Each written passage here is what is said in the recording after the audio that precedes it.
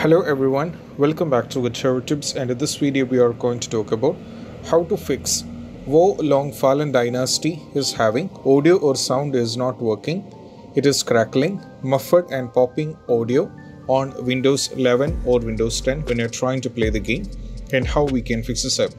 So let's dive into the workaround. The first thing what we have to do is we just have to restart the game. That is what you need to do.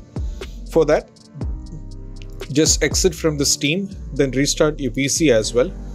Once you turn it on the pc once again turn on i mean just open the steam then try to play the game and that will be helping you guys out. So just exit the steam and just open it back. Keep in mind just do a restart as well. Once you're done with this try to play the game. Next one is all about we have to check the volume mixer. The first thing is over here you have to go to sound icon then make sure that this particular volume is being set into maximum not muted. It's been set into 100 percentage. Once it is set you just have to go over here go to settings. Now from here go to uh, over here go to sound. Now from here make sure under this output you have to set the volume into 100 percentage. Over here in the input it should be 100 percentage as well. So both these things should be 100 percentage and this has to be done from your side make sure this is not muted. If it muted no you will be having the issue. Make sure both the things are not muted. Once it has been set just close everything then go back and try to play the game as well. Next one is all about we have to select the right audio device in the sound setting. For that reason we have to go over here in the search go to settings. Now from here go to sound. Over here under the output as you can see i'm selected the speaker that is realtek r audio which i'm using right now in the input also I have selected the right uh, speaker. So you have to select the right audio device, which is your need. You have to select the right audio device or else you will be having the trouble. So select the right audio device in both the case. Once it is done, just close everything, go back to the Steam, try to play the game as well. Next one is all about we have to set sound sample rate into 48 or 44 kilohertz in the sound control panel.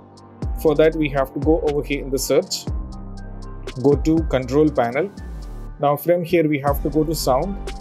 Now from here go to speakers. You have to right click and go to properties. Go to uh, advanced over here under the default format. We can see that we are having option like 16 uh, 16 bit 4400 hertz 16 bit 4800 hertz 24 bit 4400 hertz 24 bit 4800 hertz so set this to 24 bit 4800 hertz then go for ok then close everything go back to the game and try to play the game as well. Next one is all about we have to disconnect controllers, then launch the game, connect it back the controller and try to play the game. So many users try to play the game with the controllers. If that is the case, eject everything from the USB port and once you ejected it, launch the game. Once after that, if you wanted to play the uh, it with the controller, then connect it back, then play the game and this is what you have to do as well. Next one is all about we have to turn off spatial sound. For that reason, we have to go over here in the search, go to uh, go over here in the search, go to control panel. Now from here, go to sound. Over here, just go to speaker, right click, go to properties, go to spatial sound and make sure this is turned off.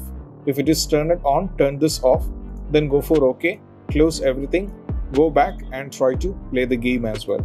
Next one is all about we have to disable Oculus voice meter. For that reason, we have to go over here in the search, go to control panel, go to sound once again. Over here, if you find Oculus voice meter, here in my case, it is not connected.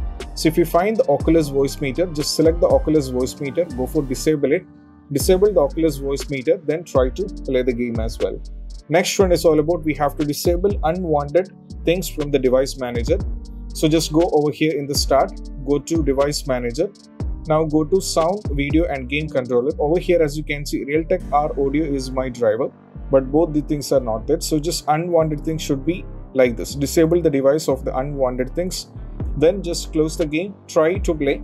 If this is not working, the next one is all about we have to install the audio drivers. For that we need to go over here in the start, right click and go to device manager.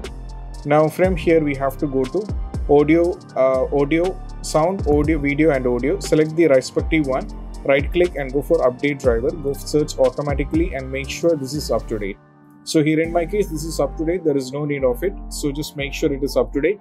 Last and the least one is all about we have to update windows. For that we have to go over here go to settings go to system sorry go to windows update at bottom left now from here check if any updates are there. Like cumulative updates are they just update it download and install this. If you're getting the direct update just go for direct update. Once it is done just close everything. Go back and try to play the game. And this is what you have to do and i hope this video is helpful. And if you find this video helpful don't forget to subscribe and click on the bell icon for more notification. See you soon in the next video. Peace out. Bye bye bye bye